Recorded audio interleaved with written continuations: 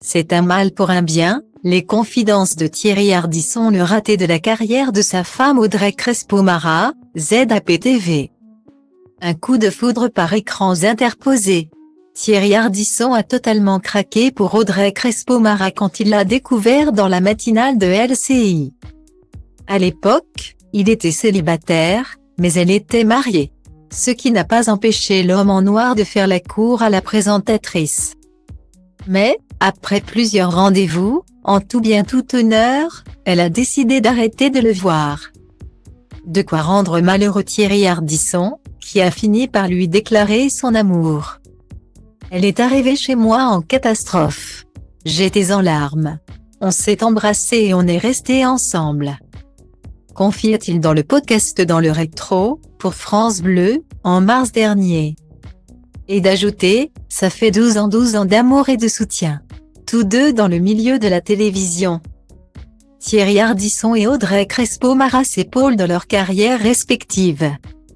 Invité de l'émission C'est médiatique, sur France 5, dimanche 18 décembre, Thierry Ardisson a évoqué la carrière d'Audrey Crespo-Mara. Passée de LCI à TF1 depuis leur rencontre. Depuis 2015, elle est joker des journaux télévisés de TF1 en plus d'assurer l'interview de 7 à 8 chaque semaine depuis deux ans. Audrey rêvait de faire le 20h. Et peut-être même le 13h, mais je pense que c'est une bonne chose que ça ne lui soit pas arrivé. A assuré son mari.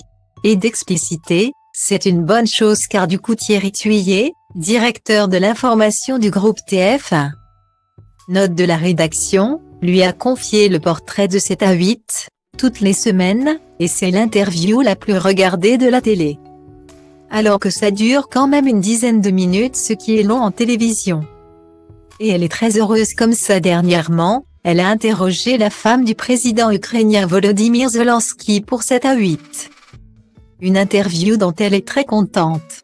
Donc je pense que c'est un mal pour un bien, a conclu Thierry Ardisson.